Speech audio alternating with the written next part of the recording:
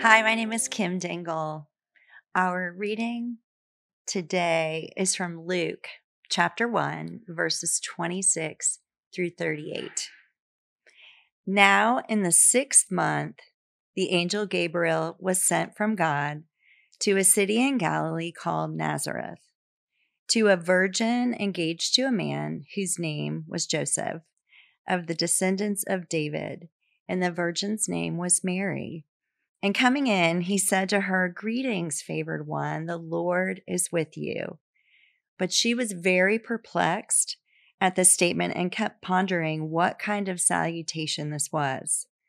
The angel said to her, Do not be afraid, Mary, for you have found favor with God. And behold, you will conceive in your womb and bear a son, and you shall name him Jesus.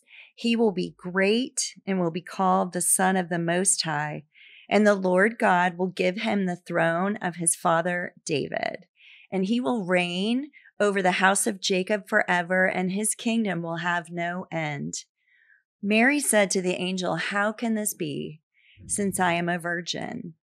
The angel answered and said to her, the Holy Spirit will come upon you, and the power of the Most High will overshadow you. And for that reason, the Holy Child shall be called the Son of God. And behold, even your relative Elizabeth has also conceived a son in her old age. And she who was called barren is now in her sixth month, for nothing will be impossible with God. And Mary said, Behold the bond slave of the Lord. May it be done to me according to your word. And the angel departed from her. I want to share with you a couple things that I learned from Mary's response to God from these verses. I'm convinced that Mary's obedience is evidence of her trust in and her dependence on God. Mary trusts God. She didn't have to know all the details of this calling. She only asked one question. I would have had about a hundred. She asked, How? And I love that the angel responded with who and said, the Holy Spirit is going to do this. She didn't ask why, she trusted the one who chose her. Mary depends on God. She responded in faith based on her relationship with God. Everybody has focused over the years on how young Mary is, but I love that spiritual maturity isn't based on our age. It is clear from her response that she had a relationship with God and that He was preparing her for this high and holy calling.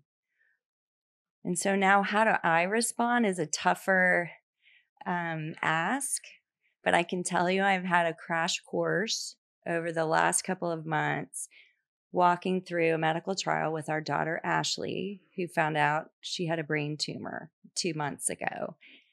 I'm still learning, but these are the things that I'm learning. I'm learning to trust God and to try to respond based on my faith in God and not my flesh. He's always been there before and he's never going to leave me. And so he's with me in the trial. I have to learn to trust that whatever he's called me to, he's going to get me through it and I don't get to pick the trial, but I can choose how I'm going to respond. And I'm learning to depend on God. And for me, what that looks like is trying to live more vertically, trying to live from heaven while I'm still on the earth.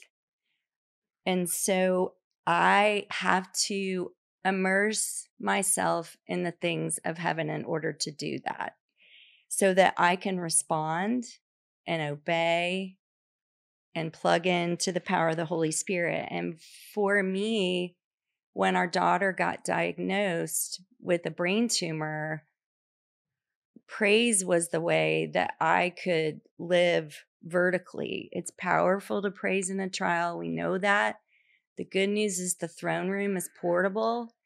And so when we were in that waiting room in Vanderbilt Hospital for her four and a half hour surgery, I did what I knew how to do, which was to put my AirPods in and get in the room with the king and to lock eyes with him and to sing. I know it sounds probably completely crazy. The waiting room was big. And so thankfully, not everyone got to hear me sing to the king, but that was what he was the one who carried us through that surgery. As I was singing to him, you have to breathe to sing. And so otherwise, I would have held my breath through the whole surgery. He was pouring out peace. I learned Jesus's peace. Peace is a person. We don't have to grasp for it. We just have to grasp for Jesus. And so I want to encourage you to find a way to plug in vertically, to live more from heaven to the earth. For me, it's worship. For you, it might be opening the word of God, it might be prayer, whatever it is. Ask God to show you because it will help us respond in a way that brings honor and glory to God. So please pray with me. Heavenly Father, we just praise you that you are a good and fa- good and faithful Father.